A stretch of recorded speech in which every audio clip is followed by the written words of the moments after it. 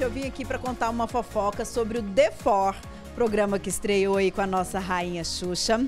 Está aqui do meu lado o Manso, que veio fofocar comigo, né, Manso? Tudo bem? Tudo bem, e você? Eu tô bem e ansiosa e feliz, porque o Manso já é um dos finalistas do The For.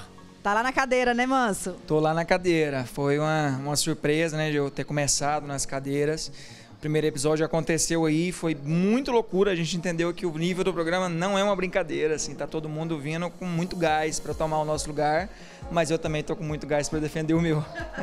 Olha só, na próxima quarta-feira, então, no próximo programa, a gente vai conferir o manso lá. É, você pode desafiar alguém, alguém pode te desafiar, você pode sair, você pode continuar. Como que é? Dá uma, uma, uma palhinha aí pra gente, conta aí. É, a dinâmica do programa é a seguinte, pessoal. A gente começa entre, com quatro na cadeira, né? O, eu sou um desses quatro. E aí os desafiantes vão entrando tentando tomar o lugar da gente. No, no primeiro programa, eu dei a sorte de não ter sido desafiado.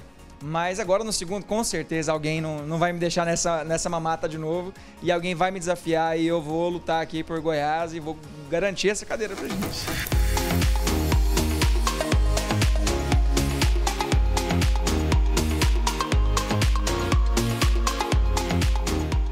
Olha, a gente vai contar uma coisa engraçada, que porque nós recebemos é, o Dani Queiroz, que é seu compadre, que coincidiu de vocês dois estarem lá, mas graças a Deus não competiram, tiveram que se enfrentar ali não, né? Exatamente, foi, inclusive foi muito emocionante, né? Quando eu ali nas cadeiras e eu vejo o Dani entrando e, e brigando por um lugar e o pessoal levar isso também, né, pro programa. O Brasil inteiro ficou sabendo dessa situação de que eu era padrinho do filho dele, enfim, nossa, lembrar aqui eu arrepio.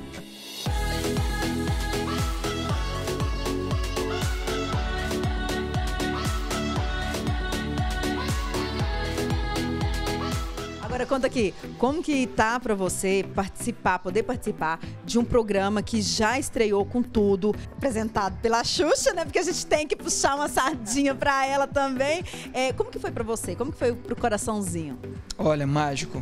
Eu vivo de música mas eu não vivo daquilo. Aquilo ali é uma magia que você não entende. Quando a gente foi no, no estúdio, conheceu o estúdio, e a Xuxa, inclusive a Xuxa é uma pessoa oh, incrível, incrível, incrível. Tipo assim, a gente às vezes fica com esse receio, nossa, é uma rainha, assim, vai ser intocável. Não, ela é super acessível, super gente da gente conversa, sabe? Muito bacana. E aí a gente, no ensaio, no dia anterior à gravação, foi, nossa, incrível, assim. Conhecer tudo, o esquema de como seria, foi, foi incrível. Então vamos fazer o seguinte: deixa um convite para o pessoal poder assistir o The For e, claro, torcer por você, né? Com certeza. Pessoal, quarta-feira, religiosamente às 10h30 da noite, vocês têm um compromisso comigo e com a minha grande amiga Xuxa, não é verdade? Ah, tô tirando onda, não tô?